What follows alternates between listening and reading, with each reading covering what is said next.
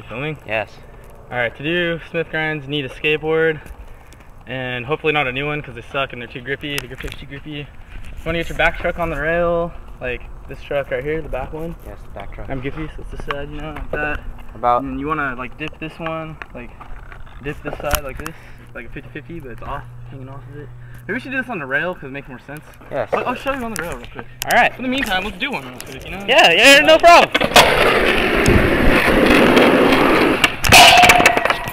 What was that? Horrible teacher. I got it. That's bullshit. We're throwing that away.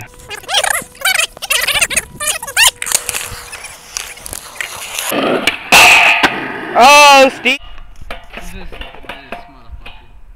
That. See?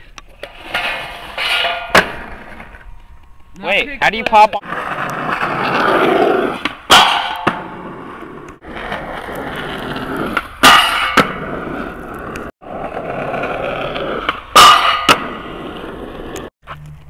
Well, when you learn Smiths, you can learn 180s out, you can learn nollies into them, all kinds of stuff.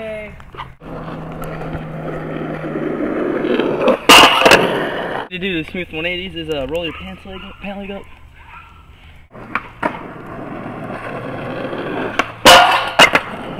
Woo! 90s vision. Yeah. There you go.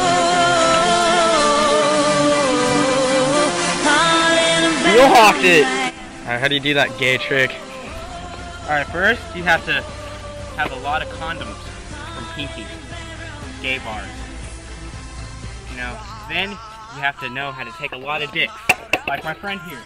My friend he knows how to take a lot of dicks. You need a board. Any board.